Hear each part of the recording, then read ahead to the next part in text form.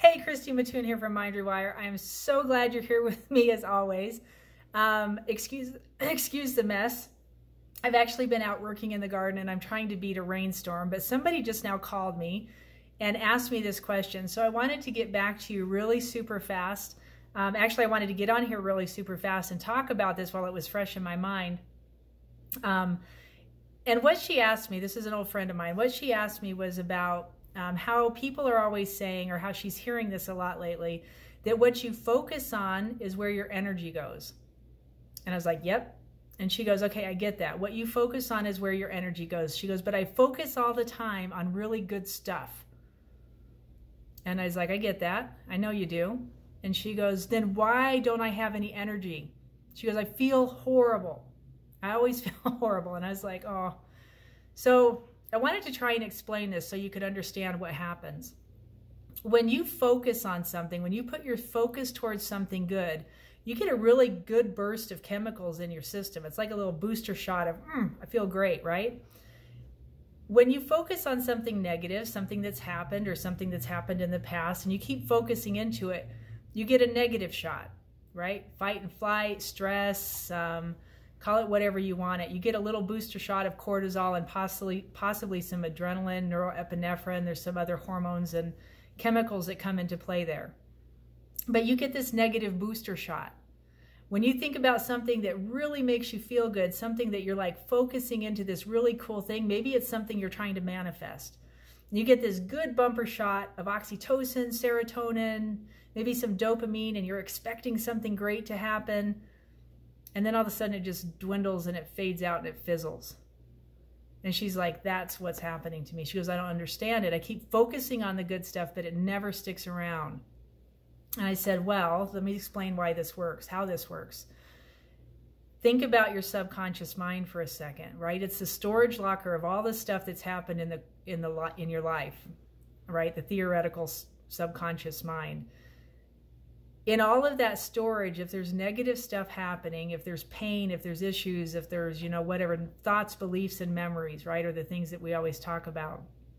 If any of those are negative and you're actually, those are attached to negative chemical and hormone attachments, your brain will give you the information, pictures, and ideas. Your body gives you the chemical signal now, if I'm trying to change something inside my brain and I'm trying to think about it differently and I keep thinking about this positive thing and thinking about this positive thing, over time, if you can continue in that track, you'll actually change the subconscious mind. You'll change that idea. But it takes a lot of effort, it takes a lot of time. If your body is giving you negative chemicals, it will put you in contention in your own system. My brain's thinking it one way, my body's giving me negative chemicals, I'm trying to be positive. I've got negative chemical situation going on and I am drained. It will wipe you out. Cortisol will drain you. I swear at this point, I really believe that, that blocks, the idea of blocks, I'm stuck. Um, what else do I hear people say? Any of those kind of things. You got a block in your system. That block is cortisol, adrenaline, neuroepinephrine, all the negative hormones and chemicals. They've stayed in your system for too long and they've given you a reason to believe that you can't do something, that you can't stay on track with something, that you can't get somewhere in your life. The block is the negative chemicals. It's not like there's a real, and it feels like that, right? It feels like there's something kind of wedged in there.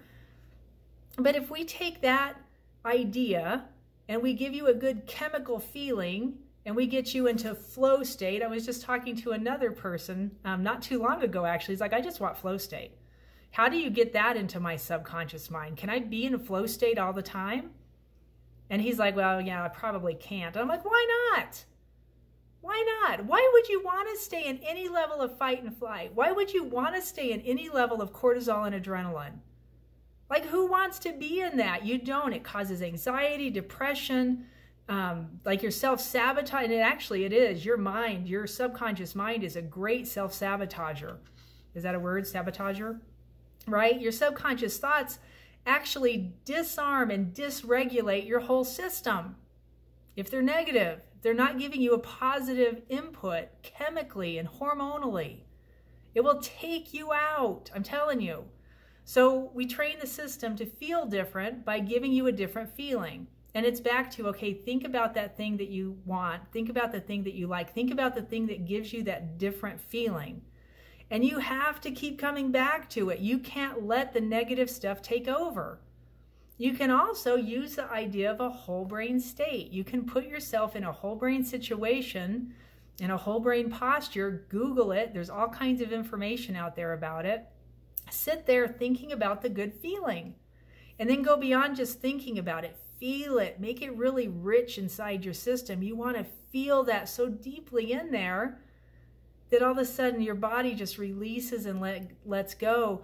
When you're in that whole brain state, or it's even the idea of um, bilateral brain stimulation, EMDR uses that. I think um, HeartMath Institute uses some kind of a semblance of that. Crossinology uses like marching and the left, right, left, right idea. It opens up your brain pathways differently. Okay. Think about something positive. Think about something wonderful. Think about something lovely and sit there in that pattern, in that position. And stay there long enough that you actually start to feel a shift.